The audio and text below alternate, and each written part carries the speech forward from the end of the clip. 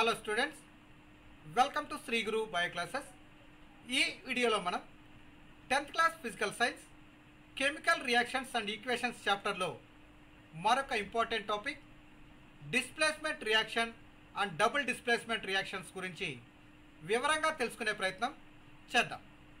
నా let's come to the topic displacement reaction let see that activity 1.9 take three iron nails and clean them by rubbing with sand paper మనం ఈ activity కోసం three iron nails తీసుకోవాలి. Iron nails అంటే తెలుసు కదా? గోడలకి ఏదైతే మేకులు కొడతామో ఆ మేకులనే మనము ఐరన్ నెయిల్స్ అంటాం. సో అలాంటివి త్రీ తీసుకొని శాండ్ పేపర్తో బాగా రబ్ చేయాలి అంటే బాగా రుద్దాలి. Take two test tubes marked as A and B రెండు టెస్ట్ ట్యూబ్స్ తీసుకొని వాటికి test tube A and test tube B అని మార్క్ చేసుకోవాలి. In each test tube take about ten ml of copper sulphate solution so ఇలా ప్రతి test ట్యూబ్లోనూ ten ml of copper sulphate సొల్యూషన్ని తీసుకోవాలి. Tie two iron nails with a thread and immerse them carefully in the copper sulphate solution in test tube B for about twenty minutes keep one iron nail aside for comparison so ఇలా మనకు three iron nails ఉన్నాయి కదా. అందులో two iron నెయిల్స్ని ఒక thread కట్టి ఇలా copper sulphate సొల్యూషన్లో ఉంచాలి. తర్వాత ఇంకొక ఐరన్ నెయిల్ని బయట ఉంచాలి. After twenty minutes take out the iron nails from the copper sulphate solution twenty minutes తర్వాత ఆ ఐరన్ నెయిల్స్ని కాపర్ సల్ఫేట్ సొల్యూషన్ నుంచి బయటకు తీయాలి.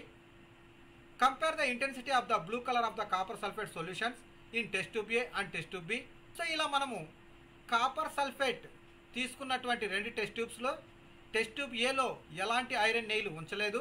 టెస్ట్ ట్యూబ్ బిలో మాత్రమే మనం ఐరన్ ఆయిల్ని ఇమ్మర్స్ చేసాం సో ఆ రెండు టెస్ట్ ట్యూబ్స్ని కంపేర్ చేయాలి. Also compare the colour of the iron nails dipped in the copper sulphate solution with one kept aside.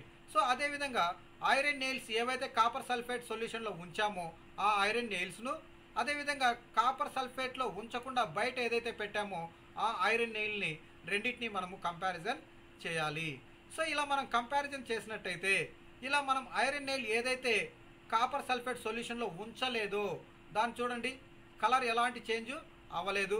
అదేవిధంగా మనం కాపర్ సల్ఫేట్ సొల్యూషన్లో ఏదైతే డిప్ చేసామో ఏదైతే ముంచామో ఆ నెయిల్ యొక్క కలర్ చూడండి ఒకసారి. బ్రౌనిష్ కలర్లోకి మారడం మనము గమనించవచ్చు. నెక్స్ట్ సో ఇక్కడ test tube A test tube B రెండు కలర్ గమనించారా ఒకసారి? సో ఇక్కడ బాగా కలర్ ఇంటెన్సిటీ ఎక్కువగా ఉంది. ఇక్కడ ఇంటెన్సిటీ తక్కువగా ఉంది. అంటే ఇక్కడ కలర్ అనేది ఫేడ్ అంటే షేడ్ అయిపోయింది. So what is happening this ఎందుకు ఇలా జరిగింది? Why does the iron nail becomes brownish in colour and the blue colour of copper sulphate solution fades ఎందుకు ఇలా జరిగింది అని మనం చూసినట్టయితే the following chemical reaction takes place in this activity so ఈ యాక్టివిటీలో ఇలా మనకు ఒక కెమికల్ రియాక్షన్ జరిగింది. ఏంటది? FE plus USO four gives rise to FESO four plus U ఇక్కడ కాపర్ సల్ఫేట్ అనేది ఐరన్తో రియాక్ట్ అవ్వడం వల్ల మనకు ఐరన్ సల్ఫేట్ ప్లస్ కాపర్గా మన కెమికల్ రియాక్షన్ జరగడం మనం గమనించవచ్చు. In this reaction iron has displaced or removed another element copper from copper sulphate solution so ఇక్కడ చూడండి కాపర్ సల్ఫేట్ సొల్యూషన్లో ఉన్నటువంటి ఈ కాపర్ అనేది బయటికి రిలీజ్ అయింది. అదేవిధంగా ఈ ఐరన్ అనేది సల్ఫేట్కి అటాచ్ అయ్యి ఎఫ్ఈఎస్ఓ ఫోర్గా రావడం మనం గమనించవచ్చు. So this reaction is known as displacement reaction so ఈ విధంగా మనకు జరిగేటటువంటి చర్యలనే మనము డిస్ప్లేస్మెంట్ రియాక్షన్స్గా చెప్పడం జరుగుతుంది. సో ఇక్కడ ఏం జరిగింది? Iron has displaced. ఐరన్ అనేది డిస్ప్లేస్ అయ్యి అంటే దాని ప్లేస్ చేంజ్ అయ్యి ఐరన్ వచ్చి ఐరన్ సల్ఫేట్గా మారడం మనం గమనించవచ్చు. Other examples of displacement reactions are ఇంకా కొన్ని రియాక్షన్స్ చూసినట్టయితే zinc plus USO four gives rise to Z and SO four. Copper సల్ఫేట్ను జింక్తో రియాక్ట్ అవ్వడం వల్ల జింక్ సల్ఫేట్ ప్లస్ కాపర్గా రావడం జరుగుతుంది. ఇక్కడ కూడా మనకు జింక్ అనేది డిస్ప్లేస్ అవ్వడం మనం గమనించవచ్చు. Next lead plus CUCL two gives rise to PBCL two plus CU copper chloride లెడ్తో react అవ్వడం వల్ల లెడ్ క్లోరైడ్ అండ్ కాపర్గా మనకు రియాక్షన్ రావడం జరిగింది. సో ఇక్కడ ఏం జరిగింది? ఇక్కడ కూడా లెడ్ అనేది మనకు డిస్ప్లేస్ అవ్వడం మనం గమనించవచ్చు. సో వీటిని కూడా మనము డిస్ప్లేస్మెంట్ రియాక్షన్స్కి ఎగ్జాంపుల్గా చెప్పడం జరుగుతుంది. Zinc and lead are more reactive elements than copper they displace copper from its compound so ఈ విధంగా జింక్ లెడ్ ఫాస్ట్గా రియాక్ట్ అవుతాయి కనుక అవి తొందరగా కాంపౌండ్స్ ఫామ్ చేసుకుంటాయి. కాపర్ని బయటకు పంపడం జరుగుతుంది. సో ఇలా మనకు జరిగేటటువంటి రియాక్షన్స్ని మనము డిస్ప్లేస్మెంట్ రియాక్షన్స్గా చెప్పడం జరుగుతుంది.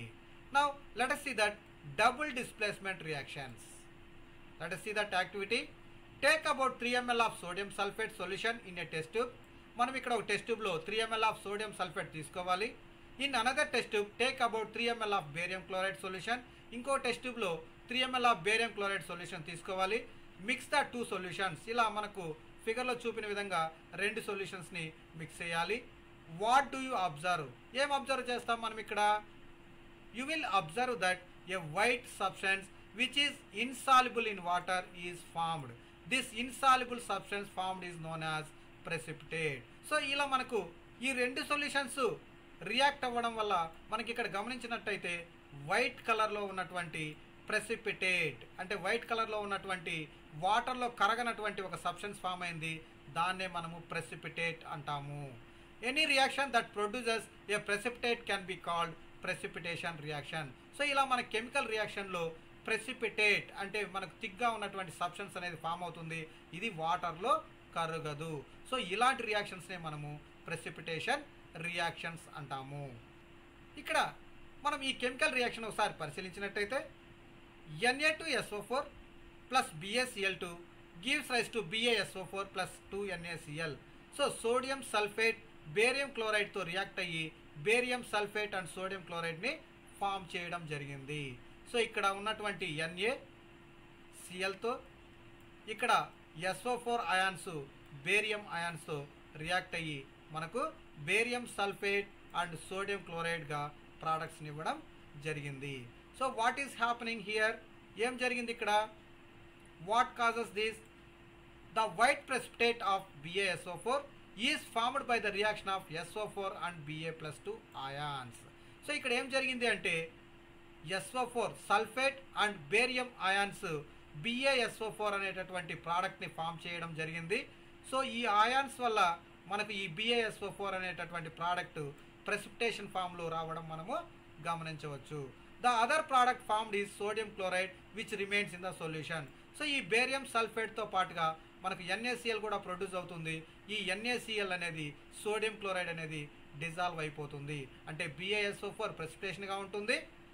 సోడియం క్లోరైడ్ అనేది డిజాల్వ్ అయిపోవడం జరుగుతుంది. Such reactions in which there is an exchange of ions between the reactants are called double displacement reactions so ఈ విధంగా రియాక్టెంట్స్లో ఉన్నటువంటి అయాన్స్ ఎక్స్చేంజ్ అవ్వడం వల్ల మన కెమికల్ రియాక్షన్ జరిగితే దాన్ని మనం డబుల్ డిస్ప్లేస్మెంట్ రియాక్షన్స్గా చెప్పడం జరుగుతుంది.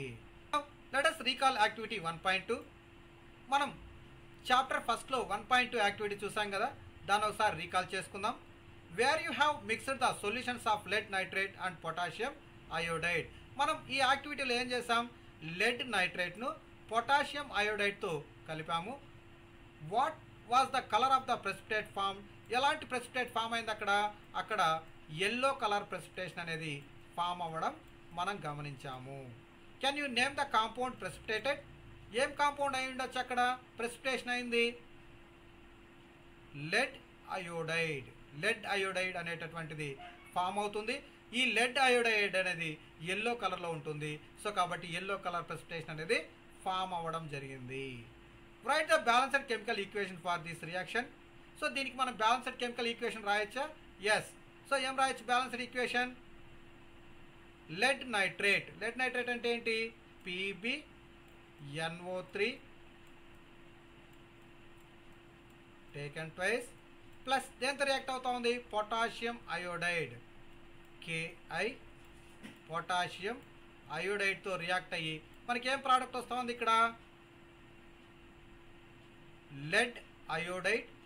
Next potassium nitrate. ఇక్కడ పొటాషియం నైట్రేట్. నైట్రేట్ అంటే ఏంటి? NO three taken twice plus ఏమొస్తుంది ఇక్కడ? Lead iodide. Lead PB I two so ఇది బ్యాలెన్స్డ్ ఈక్వేషనా నో ఇక్కడ మనం టూ వేసుకుంటే ఇక్కడ మనం ఒక టూ వేసుకుంటే ఇది బ్యాలెన్స్డ్ ఈక్వేషన్ అవుతుంది. ఇది కూడా double displacement రియాక్షనా yes how we can say that ఇక్కడ కూడా రియాక్టెంట్స్లో ఉన్నటువంటి యాన్స్ ఎక్స్చేంజ్ అవ్వడం మనం గమనిస్తాము. So it is also double displacement reaction ఇదే స్టూడెంట్స్ ఈరోజు టాపిక్ ఇందులో ఏదైనా సందేహాలు ఉన్నట్టయితే మీరు కామెంట్ సెక్షన్లో కామెంట్ చేయండి. లేదా Shri Guru bio classes at Gmail dot కామ్కి mail కూడా చేయొచ్చు. Thank you. Thank you for watching.